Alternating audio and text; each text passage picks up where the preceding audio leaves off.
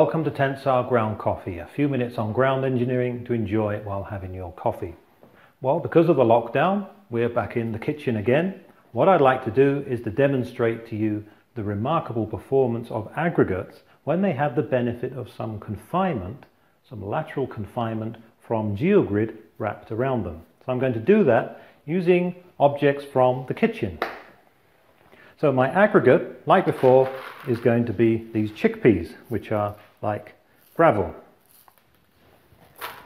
And I have some netting from the garden here, this plastic netting, uh, made by a similar process to our geogrid, but scaled uh, uh, down, of course. Uh, now, if we uh, wrap this into a cylinder, like so, and then fix it with a stapler into a cylindrical, cylindrical shape. Then fill that cylinder with the chickpeas. There we go. And let's see what weight that can support. So I've got quite a heavy bottle here of fabric conditioner. Let's put that on top of that cylinder of aggregate contained in the grid. Look at that, it can support it. Now, the way, the reason that uh, the chickpeas can support that quite substantial weight is because they are being confined by the geogrid. So as we compress the chickpeas, they want to expand laterally, but that is resisted by the tension in the geogrid. That is a hoop stress, it's called. And in effect, that is giving the, the soil or the chickpeas tensile strength gives it a, a cohesion when acting as a composite. And also the higher confining stress means that it would actually be stiffer than if the geogrid wasn't there.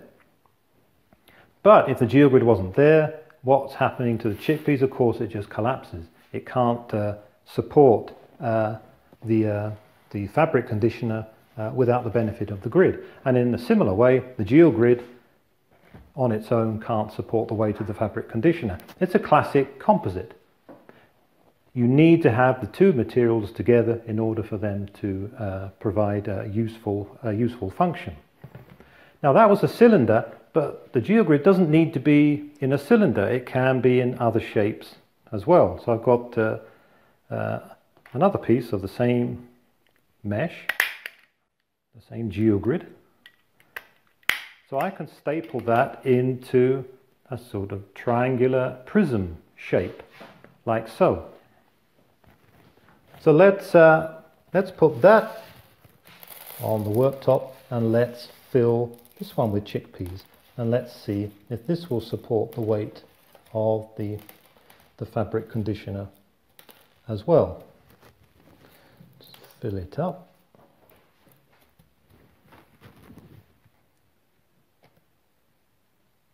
There we go. That also supports the weight of the, the bottle of fabric conditioner and it's working in the same way. The advantage of this shape is that it tessellates. Now, you remember that word from your maths at school? It means that we can fit together lots of these and they will fit together without overlapping and without leaving gaps, which you cannot do with the cylinder. So, Tensar has this uh, remarkable application uh, its scientific name is a cellular mattress, something like that, cellular foundation mattress or basal mattress. We uh, call it uh, stratum, which is a lot easier to remember, of course. And that is arranged, it's an arrangement of these shapes of geogrid. So when you construct it, you start off with a geogrid at the base. So we use our triax geogrid at the base.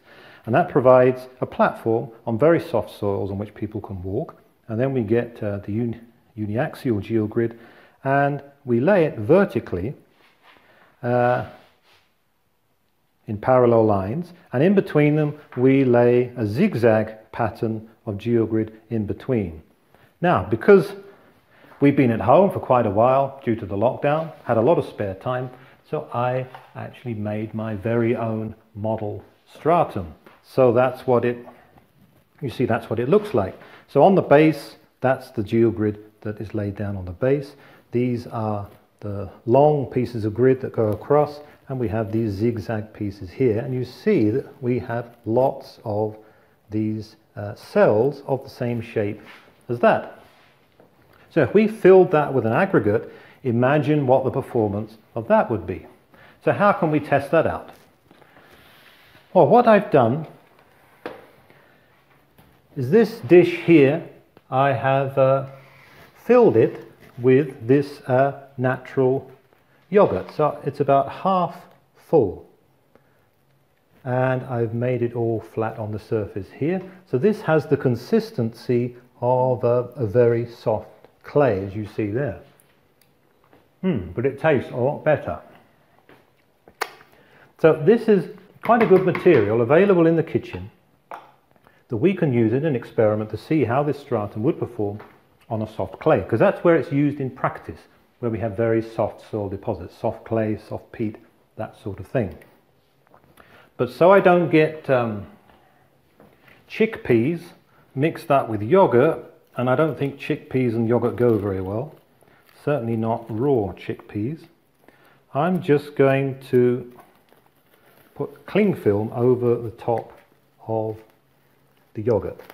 So it shouldn't add a lot of strength, but it's just going to stop the chickpeas and the yogurt all mixing together, which is going to create a real mess.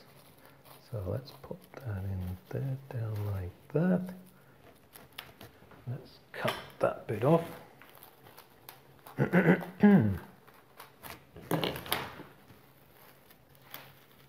okay that's all ready. So we've still got a very soft surface there, but we've just got uh, the cling film to, to separate it from the chickpeas. So I can put my stratum in there on the top like that. So I've built my stratum. I'm now going to fill it with my aggregate, or in this case, the chickpeas.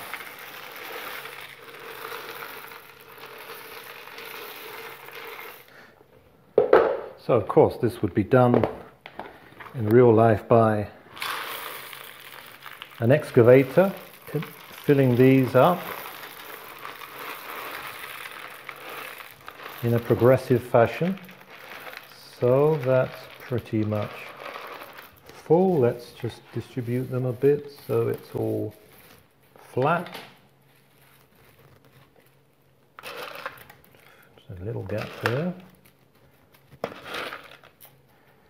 So I think we're just about there. So let's see how that performs on this soft yogurt. Let's go for the heavy bottle of fabric conditioner again. Okay, that seems to work pretty well. Not a lot of settlement there. Let's try a bit more. How about adding a bag of sugar as well? A little bit of settlement, bit of compaction of the chickpeas, not much settlement of the, the yogurt, I don't think. So you're getting in close there, Brian. You see that all looks still quite flat, doesn't it? Looks pretty stiff. It's distributing that load to the yogurt very effectively. Now, of course, we want to compare that with what the performance would be without the stratum. So imagine if we just had chickpeas and no stratum. So there, look at that, that's quite flat. Let's get uh, a straight edge there. There's a slight depression, but not much. That's pretty flat along there. So imagine that we just had a layer of granular material without the stratum.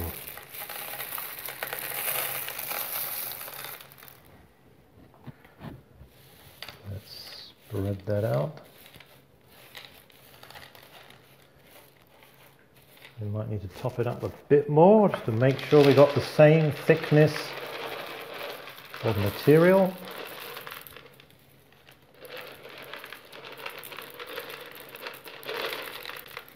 Okay, I think that's ready. Let's try the fabric conditioner then. On it goes. Oh, I can see a lot more movement. Let's put the bag of sugar on as well. Ooh, that doesn't look as stable as it did before, does it? I can see we're getting more settlement of the bottle and I saw quite a lot of heave coming up on each side. So I don't think that is working nearly as well as the stratum system. So what I'll do is I'll take out the chickpeas and we'll see if there's been any settlement in the yogurt below. Oh, look at that! Quite a big uh, divot left in the uh, in the gravel there. Uh, let's get this bowl.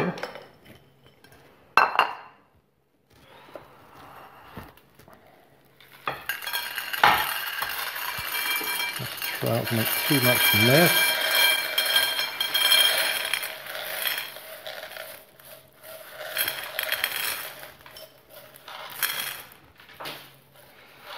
There, quite a big depression left in the yogurt. There, it actually went right down to the base. Look, it pushed all the yogurt out of the way. But with the stratum, we didn't see any of that movement at all. So, isn't that good?